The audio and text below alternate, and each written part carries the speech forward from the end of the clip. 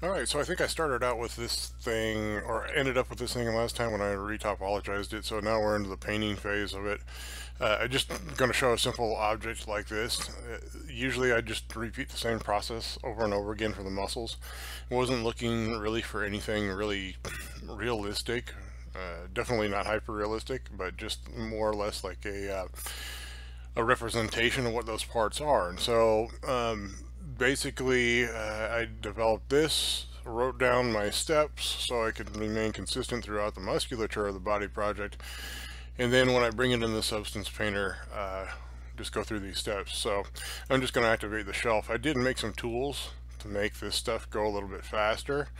Um, basically the tendon white type of brush, black specks and darkener, you'll see all that stuff. So basically what I do is I start out with a fill layer and I define the color that we're going to fill with. And um, always when I do this part is uh, I get that pretty purple. Okay, so then that's our fill layer. Then we make another layer on top of that. So that just basically fills your entire um, object up. And then I get another one to put some dark back, dark stuff on it. And so um, basically I'm using a bark type of pattern to darken some of the areas of the muscle because the area is not the muscle isn't like completely solid color. So we just do a little bit of that. Then I go ahead and add another layer and then my other tool has specks that go that looks like this. And it's just a stylized look you don't usually find specks too much in muscles, but uh, it's just to break up the surface. And then using the blending modes that are similar to Photoshop, we can uh, adjust the opacity of that stuff. I'll put another fill layer on top of it. Uh, this will represent the tendons. And so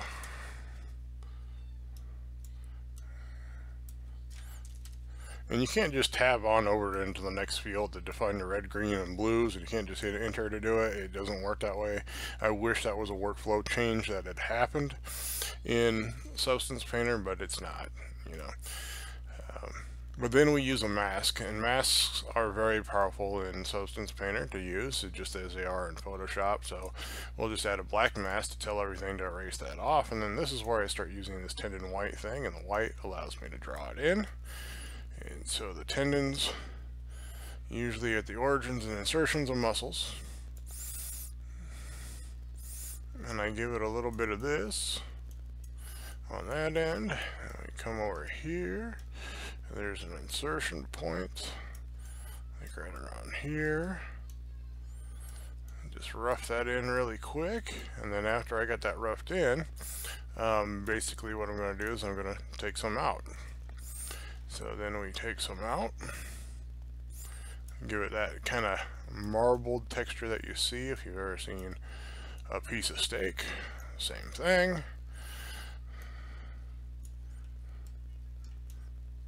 Same thing with all sorts of different things, meats, red meats, whatever. So you actually seen this before.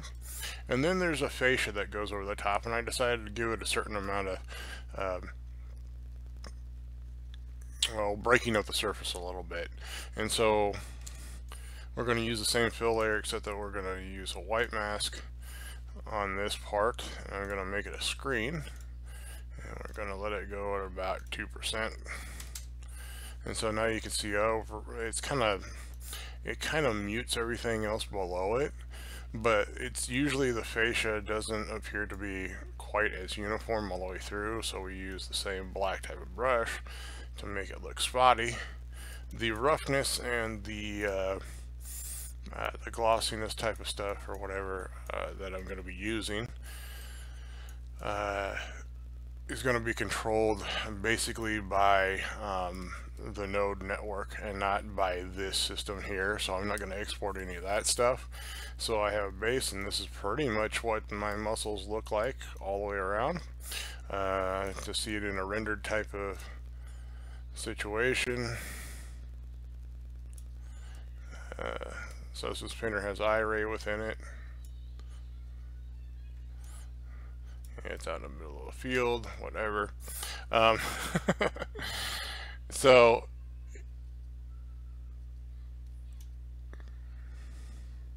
this is what we end up getting and that's what would show up if you set up a node network to look like that. But like I said the roughness this this glossiness on it is going to be controlled pretty much by the roughness settings within the node network that I'm going to use.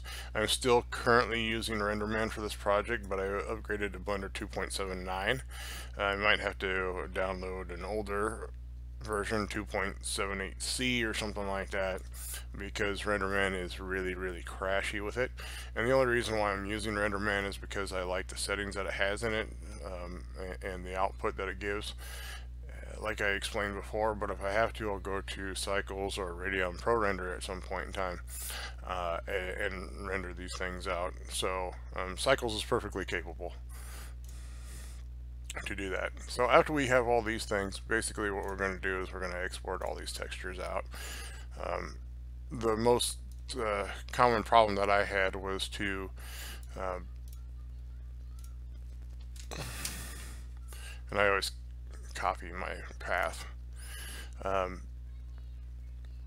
the um, problems that I had before was forgetting to take a, take my objects in the other package and give it a surface or material. Uh, otherwise, it'll just say default here, and it'll export everything as default, and you'll have to rename everything. So um, make sure you give your object a material first before you export. You export the shaders out. These are small maps because it's a small part, and I'm not going to get close to them, and so it cuts down on memory. Um, uh, overhead and stuff like that so it, it, makes it a little bit easier to handle and like I said these are like little small muscles of the thumb and stuff don't really need to be all that big the intrinsic muscles of the hand and stuff are really small. I don't need to bring that up.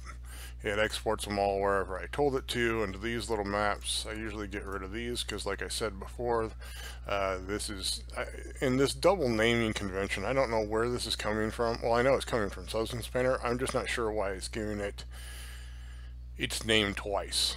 It's material named twice for these types of things. I don't understand why that's happening, but it does. Uh, big deal you know you can edit them if you want to but so I just get rid of those things since they're going to be node controlled anyway and I'm not going to fight with them too much so that's about it um,